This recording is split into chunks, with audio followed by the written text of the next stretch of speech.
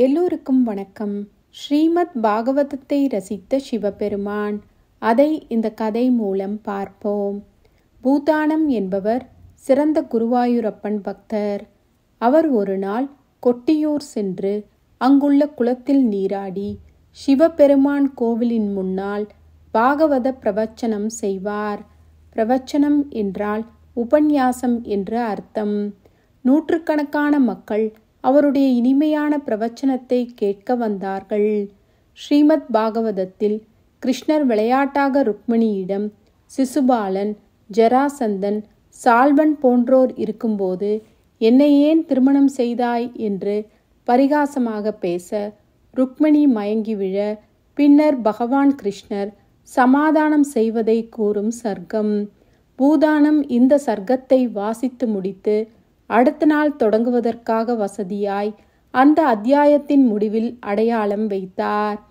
ஆச்சரியப்படும் வகையில் அடுத்த நாள் அவர் வைத்த அடையாளம் அந்த சர்க்கத்தின் தொடக்கத்தில் இருந்தது.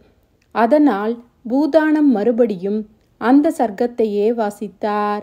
மீண்டும் சில நாட்களுக்கு இவ்வாறு தொடர்ந்து நடந்தது. ஒரு நாள் இதே போல பூதானம் பிரவச்சனம் செய்து முடித்துவிட்டு வீட்டிற்கு திரும்பினார். வீட்டிற்கு திரும்பும் வழியில் ஸ்ரீமத் பாகவத புத்தகத்தை கோவிலில் மறந்து வைத்துவிட்டு வந்ததை உணர்ந்தார். உடனே அதை எடுக்க மீண்டும் கோவிலுக்கு சென்றார். ஆனால் கோவிலின் நடை சாத்தி விட்டார்கள். யாருமே அருகில் இல்லை. ஆனால் அவருக்கு ஒரு குரல் கேட்டது. அவர் பிரவச்சனம் செய்த ஸ்ரீமத் பாகவத அத்தியாயத்தின் அதே பகுதியை யாரோ கோவிலின் உள்ளிருந்து சொல்வதை கேட்டார். சாவி துவாரத்தின் வழியே உள்ளே பார்த்தார். அங்கு ஒரு அதிசயமான காட்சி அவருக்கு காத்திருந்தது. அதை படித்து கொண்டிருந்தவர் சிவபெருமான். பார்வதி தேவியும் பூதகணங்களும் அதை கேட்டுக்கொண்டிருந்தார்கள் பூதானம் அசையாமல் அதையே கேட்டார். கடைசியில் சிவன் பார்வதியிடம் நான் படித்த இந்த பாகவத சர்க்கம் உனக்கு பிடித்ததா? என்று கேட்டார். பார்வதி தேவி சொன்னால் நன்றாக இருந்தது. ஆனால் பூதானம் சொன்னதைப் போல் இல்லை என்று கூறினாள். அதற்கு சிவபெருமான் உண்மைதான் பார்வதி நானும் பூதானம் சொல்வதையே கேட்க ஆசைப்படுகிறேன்.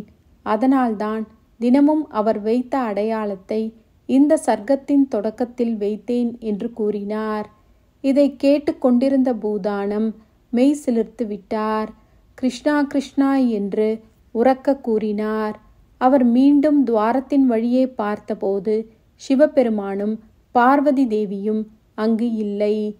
மறைந்து விட்டார்கள். இந்த கதை மூலம் நாம் என்ன அறியலாம்? பூதானம் போன்ற உண்மையான பக்தர்களின் பக்தியை சிவபெருமானே மெச்சியிருக்கிறார். அதனால் நாமும் பூதானம் போல் உன்னதமான பக்தியை பகவானிடத்தில் செலுத்தி அவரை தினம்தோறும் வேண்டி வணங்கி வந்தால் நிச்சயம் அவரின் அனுகிரகம் கிடைக்கும். அது மட்டும் இல்லாமல் நம்முடைய வாழ்வில் சுபிக்ஷமும் நம்முடைய வாழ்விற்கு பிறகு மோக்ஷ பதவியான வைகுண்ட பதவியும் கிடைக்கும். சர்வம் கிருஷ்ணார்பணமஸ்தூ.